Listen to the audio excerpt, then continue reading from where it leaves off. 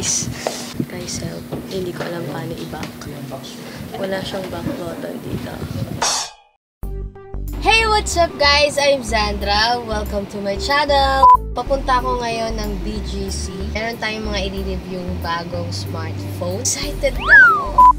Mix. I'm not sure if you've heard about it.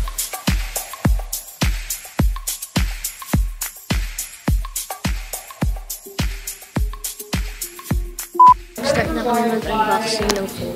Kaya mo yan. Ah, ito yung camera. Ito nandito. Instead nandito. Weird.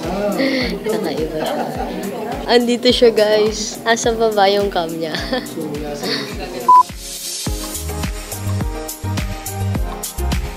Samsung J7 Ang linaw ng front camera and rear camera niya. Maganda siya sa low light for only almost 16 Now, tinetest namin ang Note 4 Infinix.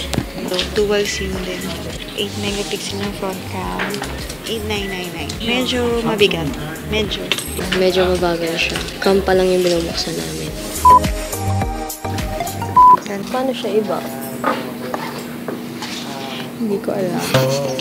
Hindi ko siya alam paano yung ano. Wala. Nakain ako ng cherry mo. Ano? Ah. Char. Picture. Wala siyang back button dito. Gusto talaga mahanap yung back button. Saan kayo? Sa screen. Ito. screen pala siya. Guys, pag hindi kayo sanay sa Cherry Mobile, screen lang siya. Hinahanap ko siya dito. Screen lang. Siya nga lang.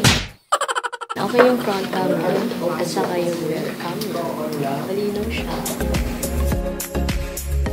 Right now guys, um, chine-check na ang tinatest namin ngayon ang Meizu M5S. Ganda naman ng front cam niya. Nakaka-fresh. Maganda siya sa low light. Parang may filter yung cam. Fresh ka lagi pag nag-selfie ka or what. Tapos na kami mag-test and mag-unbox. Pero so far, ang mga nagustuhan ko pa lang na tingin kong magagamit ko, maganda sila sa low light. Nag-focus lang kami sa lahat ng phone, yung cam nila, lalo na yung front cam. Yun nga, ina naghahanap ako na pwedeng pang alternate pang vlogging cam ko. Pag, Madali lang siya.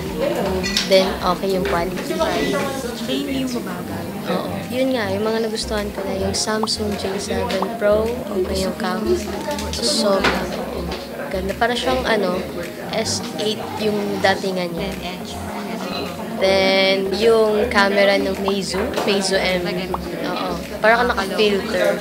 Para kang laging walk up like this. Parang Fresh. ganun. Oo. Fresh lang. Yung Cherry Mobile, okay siya. Pero nakakabobo lang yung... Hindi pa rin ako makamove on dun sa... Cherry Mobile. Oh, Cherry Mobile dun sa back button nila. Hindi namin mahanap-hanap kanina pa.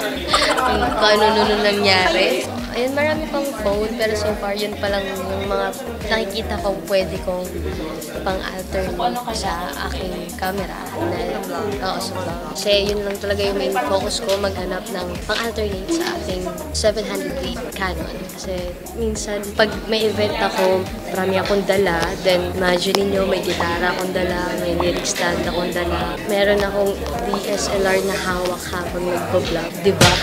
Sometimes talaga mahirap mag-vlog, lalo na pag yung DSLR. So, naghahanap ako na pwedeng pang alternate doon na phone na okay yung cam, okay yung video, and okay siya sa budget.